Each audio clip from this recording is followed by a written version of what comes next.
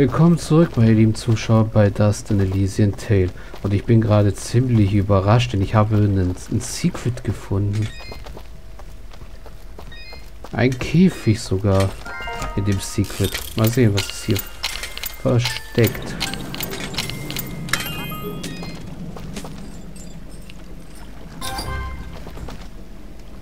Äh, den kenne ich nicht. Aber er gibt uns 5% mehr Gesundheit. Was auch sehr nett ist. So.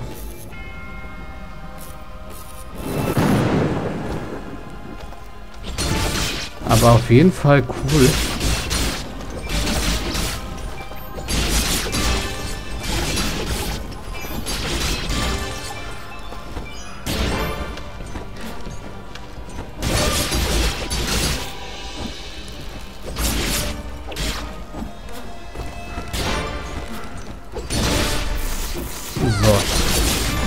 Ihr weg hier.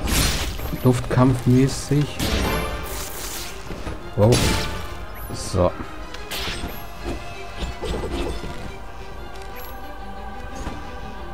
Und hier hoch wollen wir.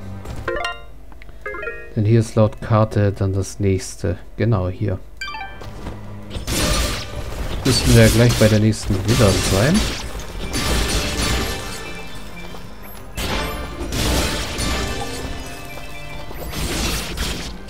So, weg mit dir.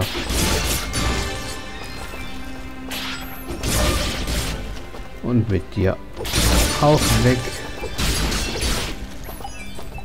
Ah ja, sehr schön. Fleisch. Auch wenn es mich immer noch stört, dass wir Zombie-Fleisch als Rüstung tragen sollen. In solchen Sachen ist das Spiel auch ein bisschen bizarr. So.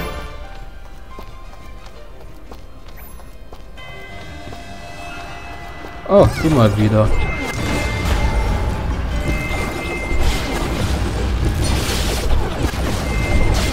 Okay, der Feuerstrahl macht ihm mehr Schaden als der Blitz.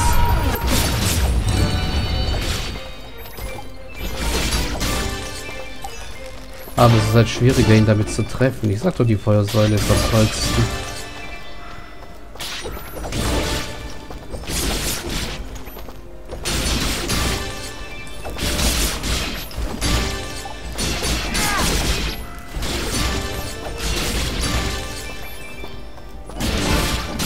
Wieder ein Taucheranzug, den wir nicht mehr brauchen. Aber Fleisch. Oh, hallo. Gibt's euch auch noch?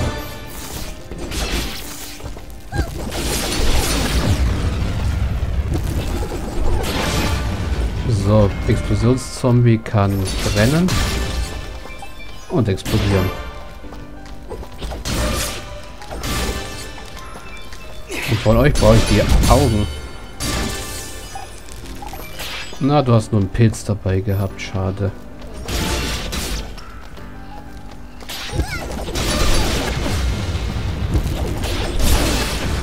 So. Einmal verbrennen und explodieren bitte. Du kannst auch verbrennen.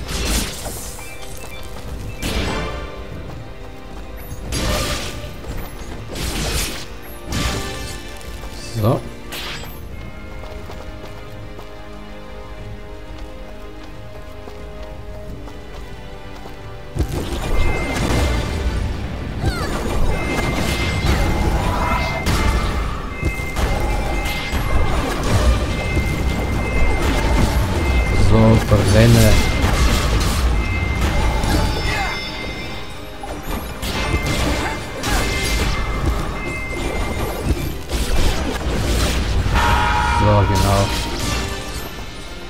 Und dann ist mir wieder keine Seele da.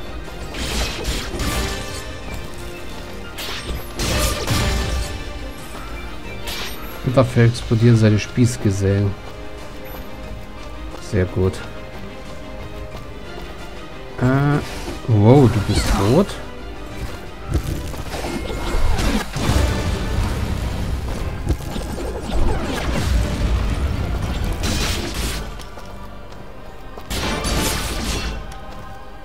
Die rote Variante kenne ich noch gar nicht. Oh, und mit einem Totenbeschwörer ist das sogar noch dieser hier, hä?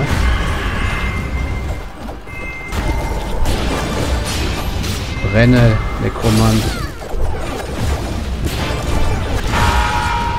So, sehr schön verbrannt. Mal kurz gucken, ob ich nicht äh, äh, Angriff erhöhen mal. So. Ob ich nicht schon mehr als genug Nekromantenschädel habe. Äh, ja, hier genau. Material kaufen. Eine und dann machen wir uns mal den Satan. Ein Fluch, bei dem sich deine Feinde wünschen werden, dir nie über den Weg gelaufen zu sein. Klingt definitiv gut. Ausrüsten. Das ist das Beste, was wir hier haben können. Rüstungsmäßig brauchen wir immer noch vier von den Fleischdingern. Ah. So teuer sind die ja nicht. Also machen wir uns mal die Rüstung. So, jetzt sind wir ordentlich mal aufgemotzt. Ja, Angriff vor allem. Glück ist eher mau. Wow.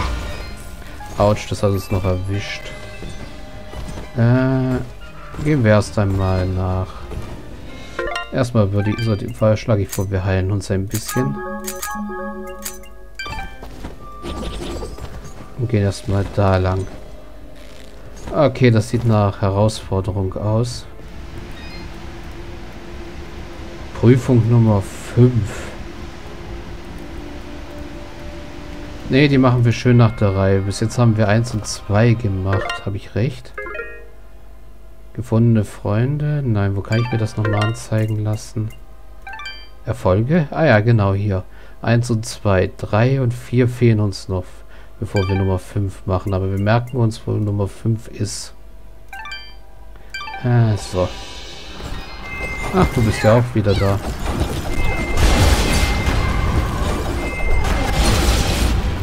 Brenne.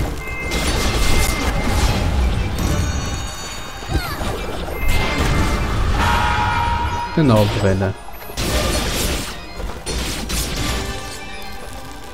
So. Zunderklingenbauplan und hier runter müsste es zur nächsten Villa gehen. Ja, das ist gemein. Direkt neben dem Speicherpunkt im Wespennest. So. Speichern und runter da.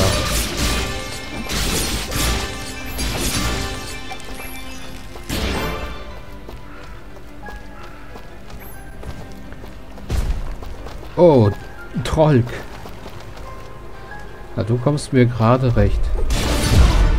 Aua, oder auch nicht. Au.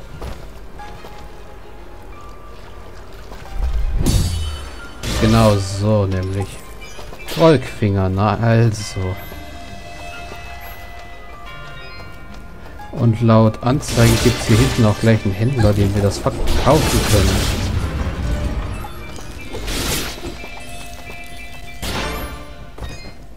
Sehr schön. Äh, Verkaufsmodus. Volkfinger. So.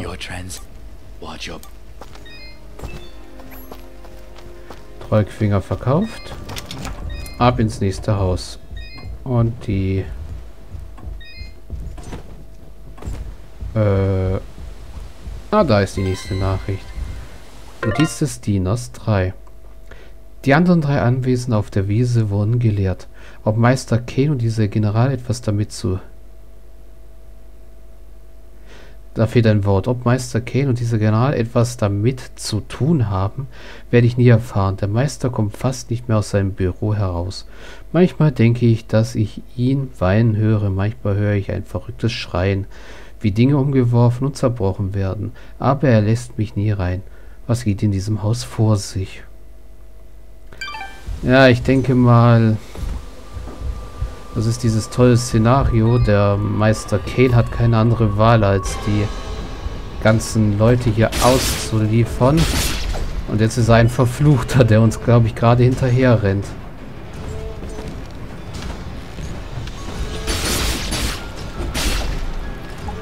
Oh.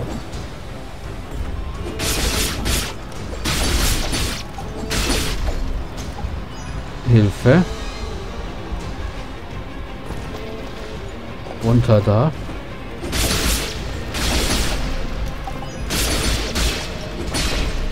Wow.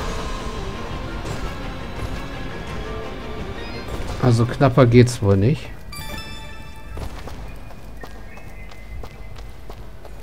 Äh, Türe. Türe.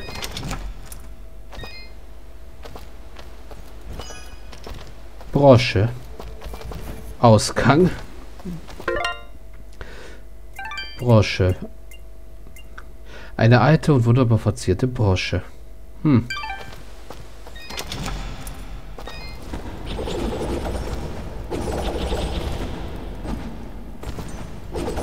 Gut. Hier kommen wir so nicht mehr hoch. Hier ist eine lauschige Wiese mit einem Schreibtisch. Also manche Leute haben echt komische Angewohnheiten mit ihrer Mode. Hm, Truhe.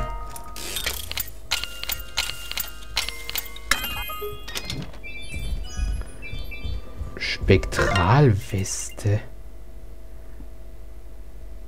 Die ist nice.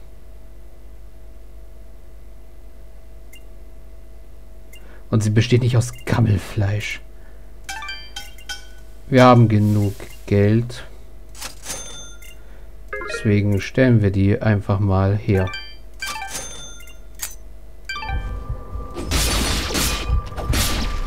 So.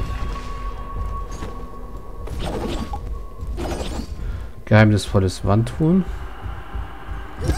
Und unser Nekromantenfreund mal wieder. Hätten wir uns wahrscheinlich die Schädel sparen können, aber ich war jetzt einfach mal zu ungeduldig.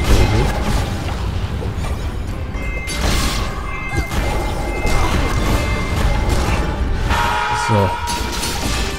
Und da wäre wieder einer.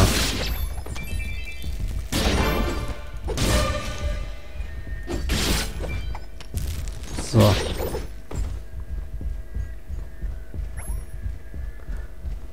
Kommt noch mal ein Nekromant? Nein, aber Zombies.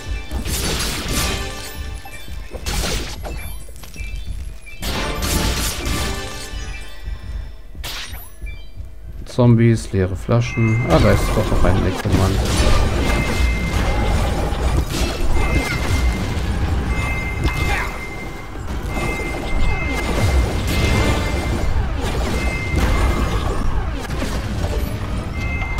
Okay, der ist wie gesagt schwierig zu, tre äh, treffen der Flammensäule.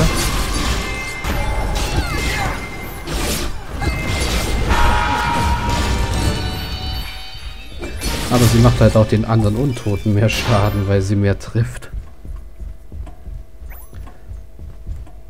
So, hier runter.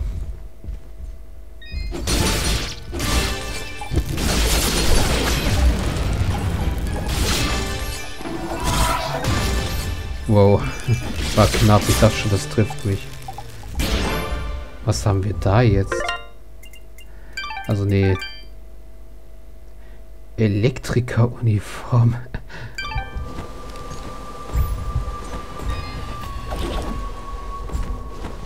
Warum auch immer wir hier eine Elektrikeruniform finden.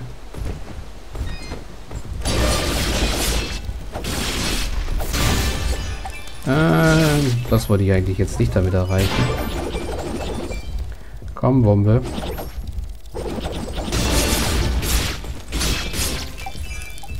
Du sollst hier unten was für mich wegsprengen eigentlich. Genau hier. Dahinter habe ich nämlich Schlüssel gesehen. Ups.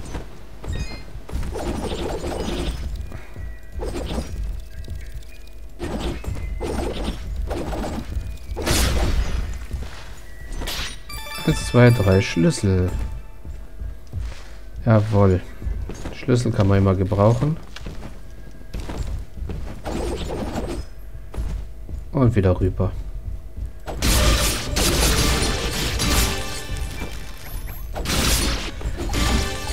Garantiert in der letzten Villa müssen wir auch noch äh, gegen Untote kämpfen, bevor wir überhaupt, äh, während, ich meine, während wir vor dem Geist wegrennen.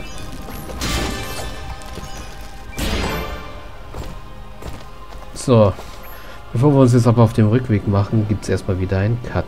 Bis gleich.